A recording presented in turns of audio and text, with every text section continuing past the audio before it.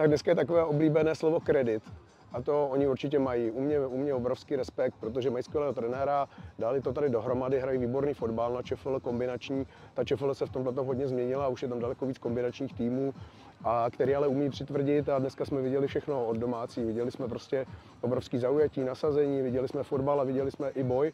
Takže eh, my, kdybychom se tomu nepřizpůsobili, tak jsme dneska vypadli a myslím si, že dneska to byl eh, pro oko diváka strašně napínavý zápas, plný, plný emocí, plný, plný soubojů, plný fotbalových věcí, těžký terén byl strašně, ale, ale eh, my jsme rádi, že jsme nakonec byli my ti šťastnější a, a vrátím se na začátek toho rozhovoru, prostě Velvary, gratuluji jim k tomu, jak to tady poskládali a, a samotného by mě zajímalo, jestli mají ambici jít dál.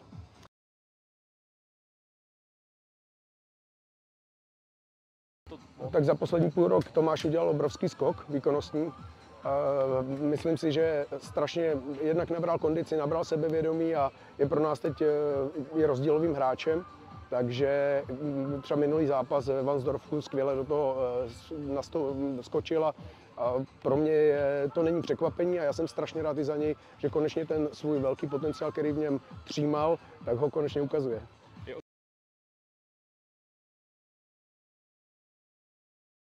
Řekl bych úplně, protože jsme, my jsme měli vlastně ten konec, jak jsme ho nezvládli, tak pořád nás to jako lákalo jít dopředu, být tam třeba eh, někde kolem třetího místa, bohužel se nám to nepovedlo, takže e, troška hořkosti zde je, zde je, ale jsme samozřejmě na nějaké cestě a jsem rád, že e, tu sezónu jsme zakončili vítězně, že se můžeme těšit na nějakého ligového soupeře ve čtvrtfinále.